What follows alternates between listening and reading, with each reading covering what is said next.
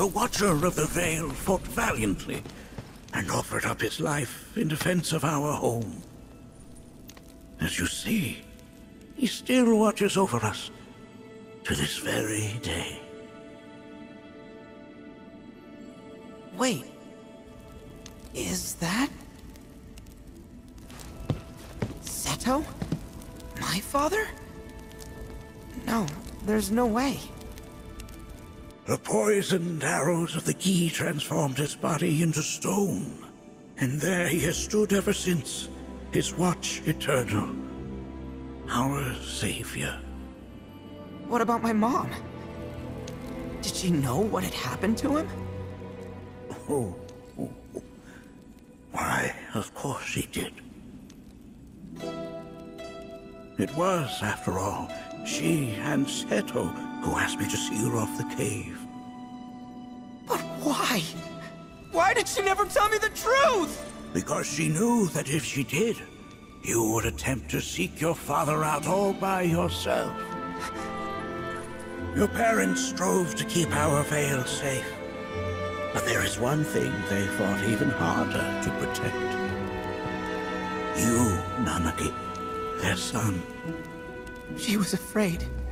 Because I was too small and weak.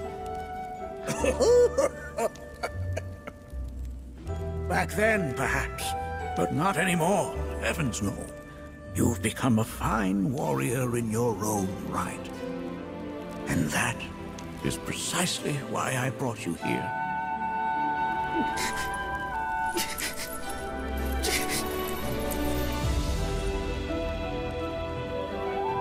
But this is not where your journey is meant to end, my dear boy. You must leave the Vale once more. But I'm a Watcher now. I gotta protect our home, like he did. Listen to me, Nanaki. When I first heard your friend's emphatic warnings, I dismissed them outright. No more than the ravings of misguided youths. When you've lived as long as I have, start to believe you've seen it all. That no surprises remain. But I realize now how very foolish I have been. The eyes that I thought saw the world clearly have grown blind to new possibilities. But... I would hate to impede your progress any further. I bid you leave, Nanaki. Before, like me, you become inured to your own ignorance. With sharper eyes and keener ears, go forth and in my stead seek the great truths of our world.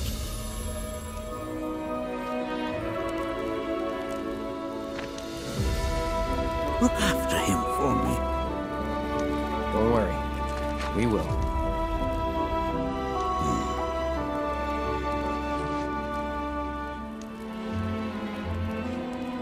You failed this trial, my boy. Continue your training and try again. Are you up to the task, Nanaki? You bet I am. After all.